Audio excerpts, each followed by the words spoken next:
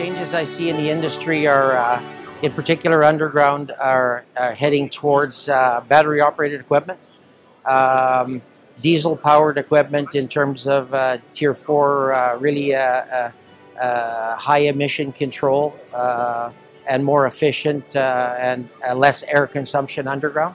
So we see a big swing going in that general direction. So as a result, our company is trying to work and stay one step ahead of the curve.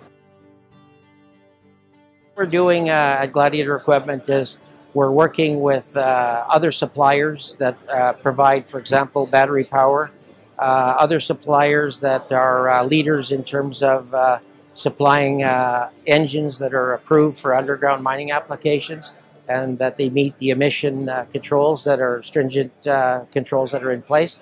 So we're making some good headway, and we're hoping by the next six months we're going to introduce some of our first battery-powered equipment as well as some of our uh, new underground equipment with the uh, uh, newer engines, the Tier 4 engines.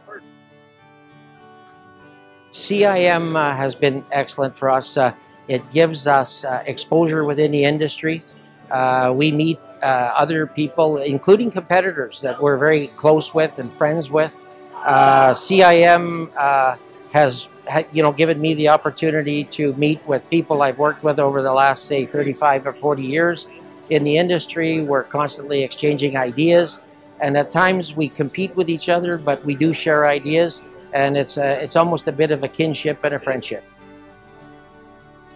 Uh, with Gladiator equipment, what we've done and we're looking at, of course, like any company, we're looking at transition, at uh, how we're going to be able to continue and uh, how the family tradition, in my case, my daughter is heavily involved. Uh, she is our operations manager.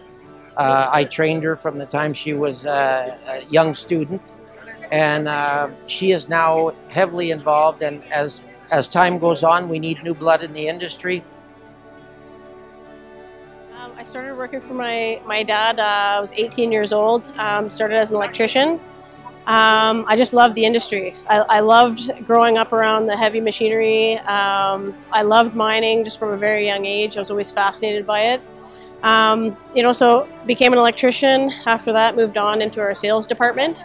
Loved sales, loved equipment sales, loved traveling.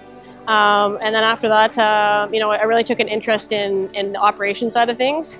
Uh, I was really good, you know, at, at dealing with logistics, um, and I just kind of moved up from there into an operations role.